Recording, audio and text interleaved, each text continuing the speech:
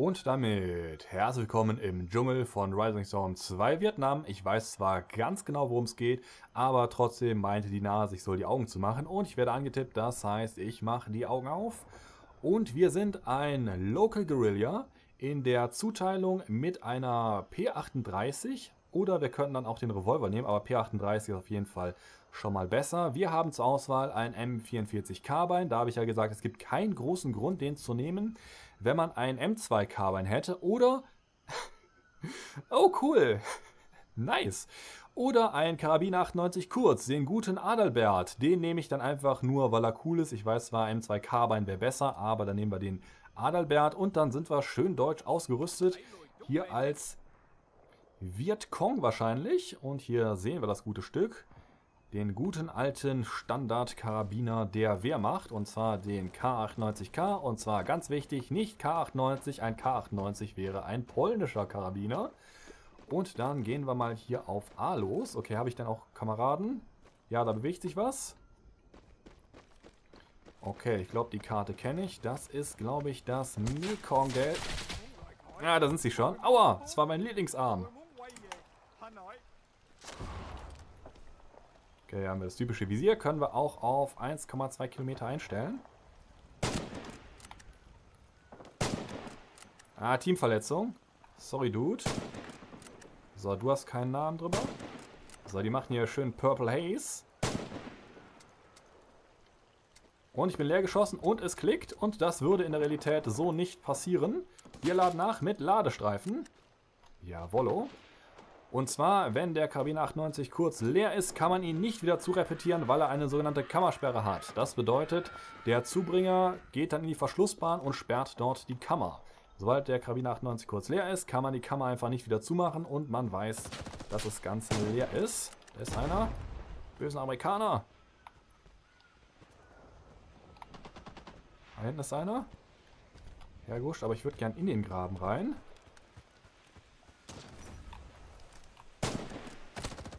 Ah! Ah, verdammt, Jack war schneller. So, dann kurze Nachfrage. Dann bin ich jetzt wahrscheinlich Vietcong und vorher war ich wahrscheinlich NVA, oder?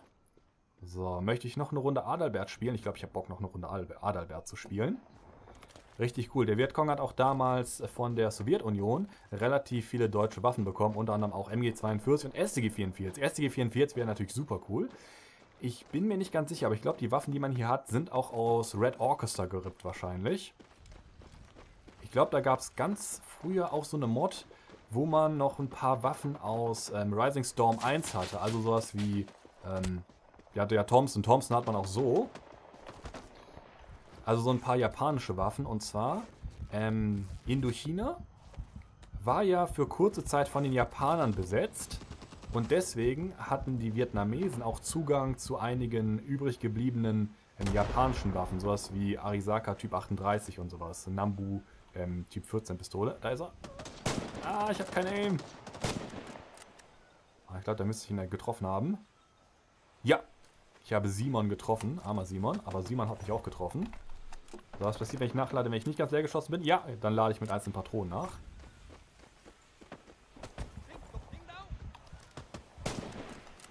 Super unpraktisch, das Teil.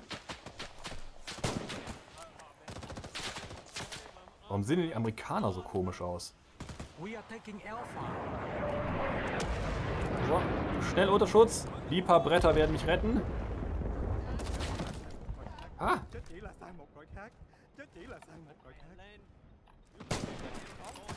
Die Amerikaner sehen auffällig asiatisch aus. Soll das so? Ah, ich glaube, ich nehme mal einen M16 mit. So cool wie der Adalbert ist, so unpraktisch ist er. So, gehen wir einfach mal weiter voran. Rest der Waffen gucke ich mir gleich an. Ah, die Performance ist ein bisschen schlecht auf der Karte. Ich hoffe, ihr seht das nicht so stark. Aber es sieht immer noch unglaublich cool aus, das Spiel, wie ich finde. So, Doc, wohin mit dir? Oh cool, die sehen auch ein bisschen cooler aus, die ganzen Skins und so weiter. Ich glaube, an den Skins haben die auch ein bisschen was gemacht.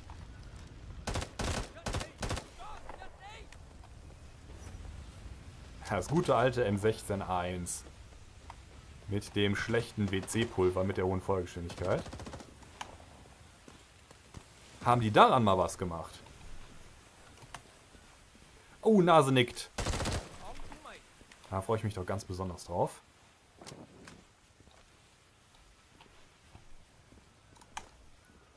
Das mit lila Rauch. Ist cool, dass die Bots auch wissen, wie er mit Rauch umgeht. Was hat er? Ich glaube, das ist einfach nur ein M14.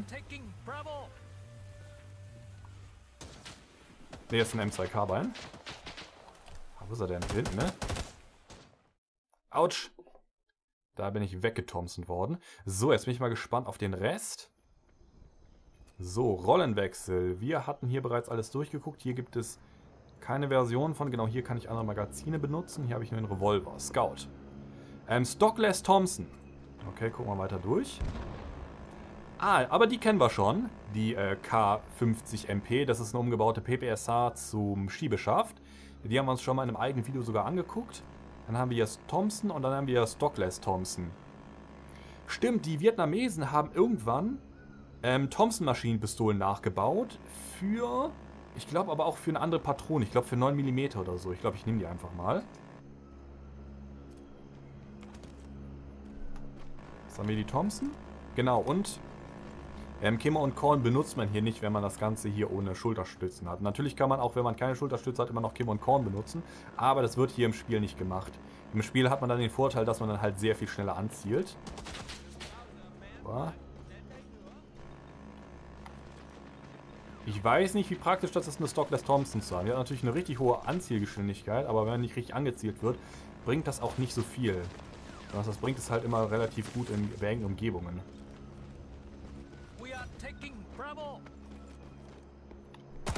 Da ist einer!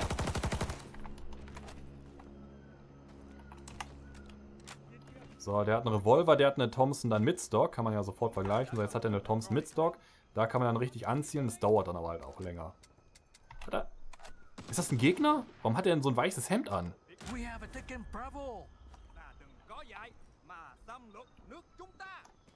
Genau deiner Meinung, Kamerad.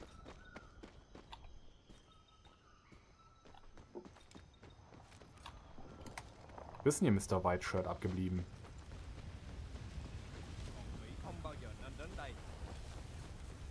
Ja, gehen wir mal einfach weiter nach C.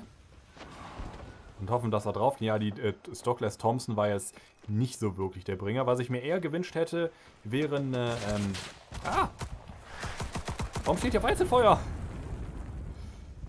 Wäre eine Karl Gustav oder sowas. Auch eine Karl Gustav wäre natürlich ähm, ein bisschen mehr Arbeit gewesen. Dazu muss man sagen, so eine Stockless Thompson einzuführen, die gab es ja. Und das war wahrscheinlich vom Modding-Technischen her relativ wenig Arbeit. Thompson M1928 wäre natürlich auch Premium gewesen, sagt das Nasus hier gerade. Aber ich glaube, es ist nicht belegt, dass die in Vietnam wirklich eingesetzt wurden. Und da hat mich schon wieder Simon mit einer Granate erwischt. So, gucken wir uns den Rest an. Hier war nichts. Machine Gunner. Ähm... Bau. DP. Hier habe ich gerade was. DPM. Ah, jetzt kann man wechseln zwischen DP27 und DPM. DPM ist die ähm, verbesserte Form, aber das DPM sieht anders aus. Das DPM hat einen Pistolengriff und dann hinten hier so eine Röhre dran. Da wurde ja die Schließfeder umverlegt. Weiß ich nicht, ob ich mir das angucken muss. Dann haben wir hier dann das äh, Scharfschützengewehr. Das kennen wir bereits auch. Hier ist auch nichts Besonderes. Trapper. Hier haben wir... So, okay. Eins nach dem anderen. Matt kennen wir. PPS haben wir gesehen. Das haben wir auch gesehen. Das ist jetzt eine MP40 MP. Und ich soll diese Bar nehmen, sagt das Nasentier. Warum ist dann auf einmal beim Trapper eine Bar? Also dann hat man doch mal, dann haben die doch viel mehr Feuerkraft. Nase sagt, ich soll das mal abwarten. Ja, dann warte ich mal ab. Ich glaube, zwei ist ein bisschen näher dran. Dann nehmen wir hier die Bar. Die, die sieht ein bisschen komisch aus.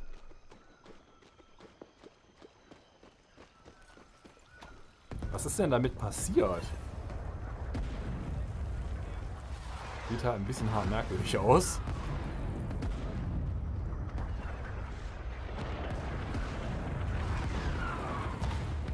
Ah, das Trommelfeuer ist.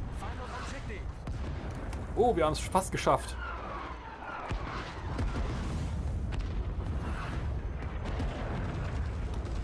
So. Hä? Was zum... Ach, ja, ja, ja, ja. Moment, Moment, Moment, Moment. So, die Zuschauer müssen ja auch mitkommen. Das ist diese Bastelbar. Das ist was ganz komisches. Das ist eine Bar als äh, Kammerstängelrepetierer, die ähm, Schrotmunition verschießt. Das haben die wirklich gemacht. Einige ähm, kaputte Bars wurden vom Vietcong ähm, umgebaut zu Kammerstängelrepetierern ähm, für Schrotmunition. Einfach weiterspielen? Okay, einfach weiterspielen. Besonders, weil ich jetzt hier gerade das nächste Leckerchen sehe. So, ähm, wir sind jetzt auf der anderen Seite und das erste, was ich sehe, XM16E1. Das heißt, das hier ist die ähm, Vorversion vom M16A1 und zwar noch hier mit dem gezahnten Mündungsfeuerdämpfer, wo die Soldaten gerne mal Dosen mit aufgemacht haben. Der offizielle Grund, warum das geändert wurde, dann später in den Birdcage Flashhider, ist, dass man damit relativ oft im Gebüsch hängen geblieben ist. So, ich frage mich jetzt natürlich, ob das Ding jetzt eine andere Feuergeschwindigkeit hat und welches Pulver da drin ist. Habe ich ja schon oft genug erzählt. Das M16 war ja ursprünglich mal dazu gedacht, so mh, hm, 650 bis 700 Schuss die Minute abzugeben, aber ich glaube, wir müssen verteidigen. Und dadurch, dass halt das Schießpulver in den Patronen geändert wurde, hat sich halt ähm, die Feuergeschwindigkeit auf diese 1000 Schuss erhöht. Und diese 1000 Schuss wurden dann später auf 900 Schuss runtergeregelt, indem damals das M16A1 eine andere Schließeinrichtung bekommen hat. Okay, da kommen die schon. So, eigentlich müsste ich jetzt hier theoretisch für die Zeit irgendwie so 1000 Schuss die Minute in dem Ding haben oder so.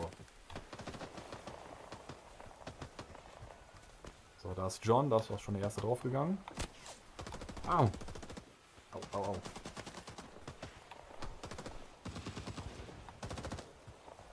Wo sind die denn? Ich sehe nichts. Guerillas im Nebel. Mache ich am besten mal einen Flankenangriff. So, auf was steht das Ding denn? Ah, stand gar nicht auf Flamingo. Muss natürlich auf Flamingo stehen. Da sehe ich was. Fein aufgeklärt.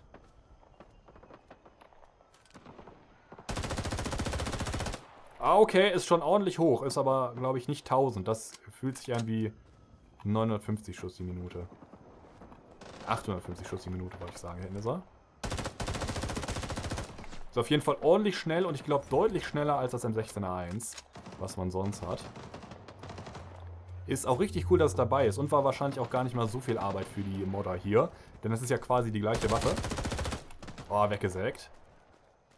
Ich glaube, ich habe sowieso aber nur 20 Schussmagazine. Ja, nach wie vor nur 20 Schussmagazine. 30 Schussmagazine waren in Vietnam sehr, sehr selten.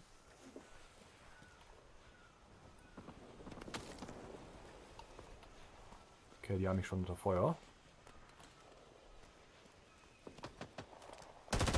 Das ist Charlie. Macht aber Spaß damit zu spielen. Ist natürlich die reinste Munitionsverschwendung. Und im Angriff kann das wahrscheinlich auch nicht so wirklich gut gebrauchen, der man keinen Munitionsnachschub hat. Aber macht auf jeden Fall Spaß. Und da ist das DPM. Da ist das DPM. Da sieht das genau. Lass mich DPM erklären. Da ist das DPM. Das DPM hat dann Pistolengriff bekommen und hat halt diesen, ähm, diesen Kolben hinten raus. Also nicht den Kolben, den man sich gegen die Schulter drückt, sondern den Kolben, wo dann die neue Schließfeder drin ist. So, jetzt gucke ich mir den Rest an. Ja, genau, hier kann ich dann auswählen. XM16E1, also die Vorversion und dann die verbesserte Version M16A1, den auch offiziell eingeführt wurde. Die können wir auch mal kurz spielen. Ja, ich habe noch Zeit, sehe ich gerade. Sehr gut, gucken wir mal, wie schnell die ist. Ja, die ist ein bisschen langsamer. Wäre es natürlich richtig nice gewesen, wenn man sich dazu auch noch das Pulver aussuchen konnte.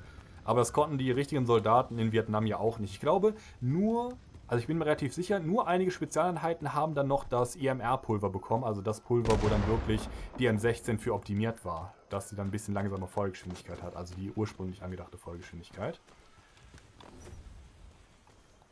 So, ihm ist leider nicht mehr zu helfen. Da ist Jack.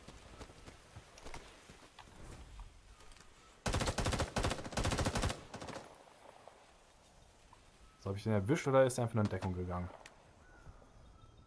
Ja, und ich habe ja natürlich auch den geschlossenen Mündungsfeuerdämpfer. Da sind sie.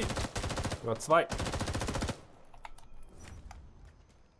Erledigt. Ne, da liegt die Bar und bei meinem Glück ist das wahrscheinlich diese komische Schrotflintenbar. Obwohl, die kann ich mir dann auch nochmal angucken. Ist das die Schrotflintenbar?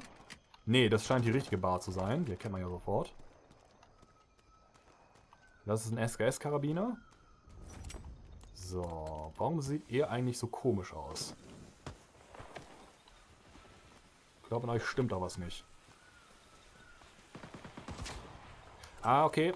Nasend hier sagt, ich soll mich da gar nicht weiter fragen, sondern soll gleich mal Teamwechsel machen. So, sehr amerikanisch hier. Einfach mal reinfeuern, ohne was zu treffen. Autsch. Und da rollt noch eine Granate. Okay, Rollenwechsel, Teamwechsel. Ach, ich bin Koreaner. Okay, das erklärt einiges.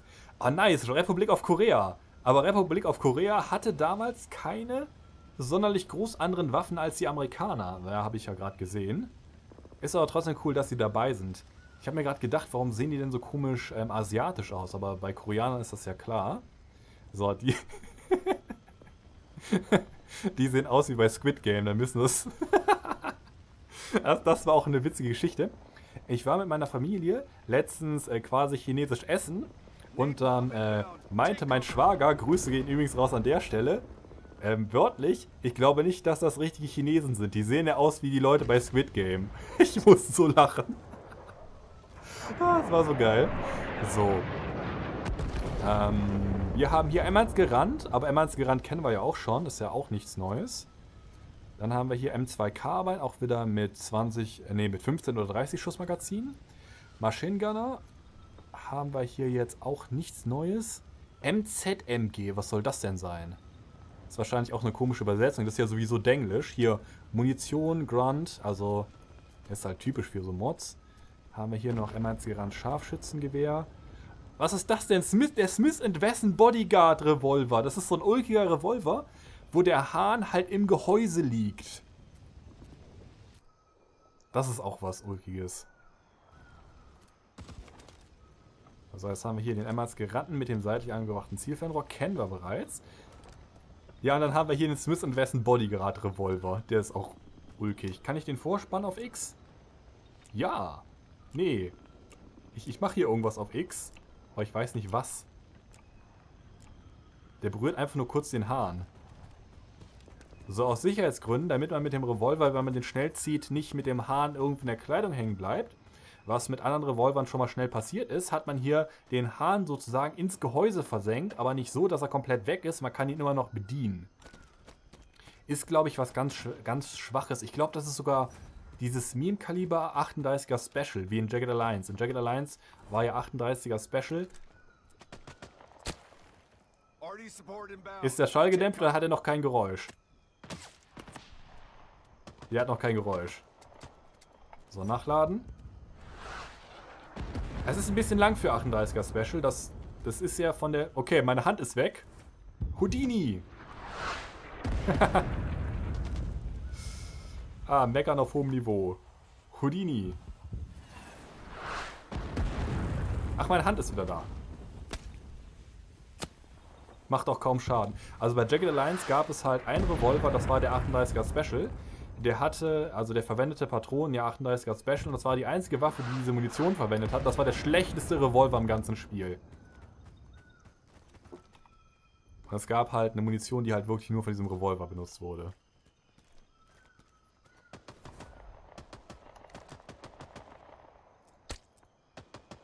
Glaube, ich habe sogar getroffen. Aber auf die Entfernung mit 38er Special macht das nicht viel. Obwohl ich glaube, 38er Special ist in der Realität gar nicht so kacke. Das ist, glaube ich, in den Leistungsdaten knapp über 9x19 mm Parabellum.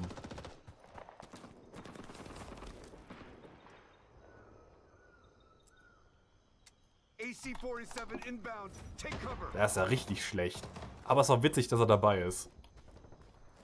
Aber ich glaube, die Mühe, das Ding zu modden, hätte ich wahrscheinlich eher in eine andere Waffe gesteckt.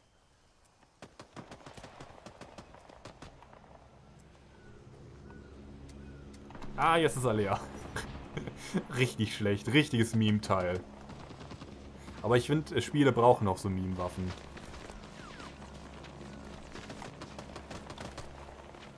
Da ist einer.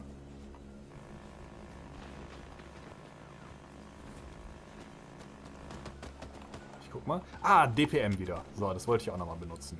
Ja, es sieht jetzt hier von vorne, also sieht vorne natürlich komplett gleich aus zum DP27. Okay, zwei Beine ist drauf. Nachladen. Ja, okay, die Hand ist ein bisschen verrutscht. Und hier sieht man das so ein bisschen. Hier sieht man ein bisschen so den Kolben, wo die Feder drin ist. Aber sehr viel mehr sieht man nicht. Und eigentlich müsste sich das im Spiel auch gar nicht groß unterscheiden. Denn im Spiel gibt es ja keine Ladehemmungen. Und der Vorteil vom äh, DPM müsste eigentlich nur sein, dass, er sich, dass es sich bei Dauerfeuer ein bisschen besser unter Kontrolle halten lässt, wegen des Pistolengriffes. Und dass es halt weniger Ladehemmungen hat, weil es halt zuverlässiger ist. Flamethrower. Flamethrower ist halt eine alte Geschichte. So, Grenadier. Haben wir hier irgendwas Neues? M1 gerannt. Hier Granatwerfer von M2 Carbine. Hier auch nicht viel. Anti-Tank. Oh! M18 Recoilless Rifle, wenn man gerade denkt, es gibt nichts mehr. Das ist ja witzig. So, nehmen wir mal hier einmal ins Gerannt mit.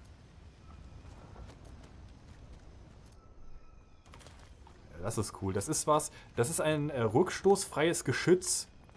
Das ist eine ganz urige Geschichte. Normalerweise ist das auch keine Handfeuerwaffe, sondern eigentlich auch was, was man eher so auf äh, Jeeps montiert oder so. Aber es gab auch eine Version, die konnte man ähm, von der Schulter aus abfeuern. Das ist was ganz Uriges, nehme ich das mal. Das ist auch, glaube ich, richtig riesig. Okay, was gönnt er sich hier? Ich glaube, er gönnt sich hier einen Texturfehler.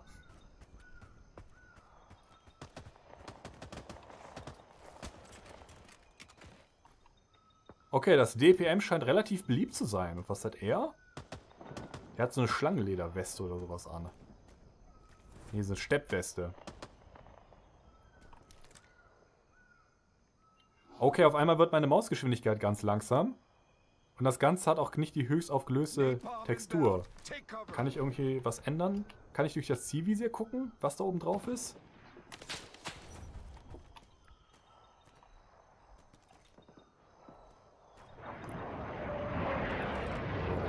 Sein. Ah, es ist langsam. Ui. So, nachladen.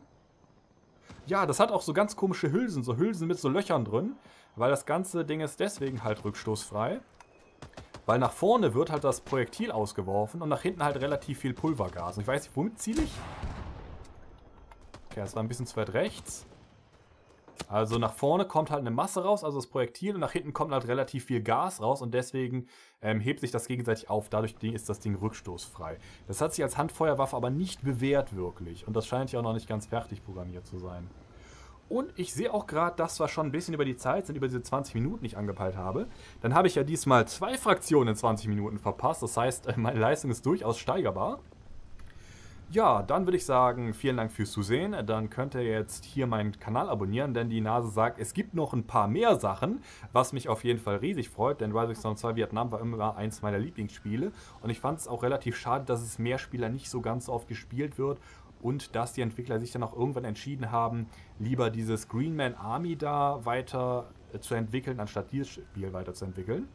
Aber dann würde ich sagen, vielen Dank fürs Zusehen. Dann, wenn ihr die nächsten Folgen nicht verpassen wollt, könnt ihr jetzt hier meinen Kanal abonnieren. Dann könnt ihr jetzt hier eins von meinen Videos gucken.